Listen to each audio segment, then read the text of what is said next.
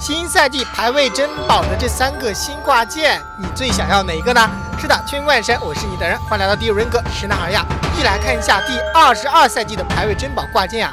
哇，这么快就到二十二赛季了，感觉这个赛季过得好快呀！首先是包括梦之女巫的金挂，叫做呼唤。这个挂件设计的，我觉得真的很有创意。从正面上来看，这个挂件像是一个面具，你们看到了吗？然后如果从侧面上来看，它有点像一个狼头的一个形状，里面好像又包括了三条金蛇，缠绕着五条羚羊。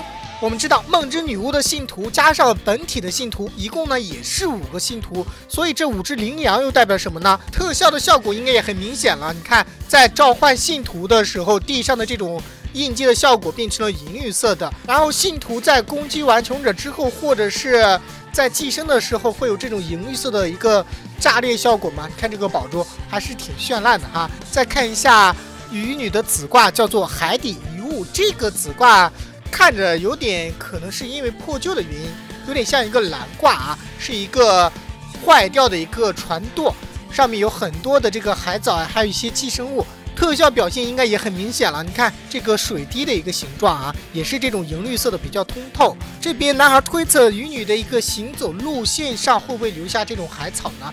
这样的话还是比较惊喜的。最后就是画家的子挂谢乐绿，谢乐绿是一个颜色的一个名称哈。特效你们看到吗？画板上有一种这种也是银绿色的这个光环特效，难道是在释放画架的时候，画架的一个范围就是这种银绿色的圈吗？所以大家可以发现，这次的二十二赛季的一个主体呢，就是以这种银绿色为主体啊。大家觉得这三个挂件最喜欢哪个呢？在视频下方留下你们想法吧。祝你们好运啊！感谢关注，支持男孩，我们下视频见，拜拜。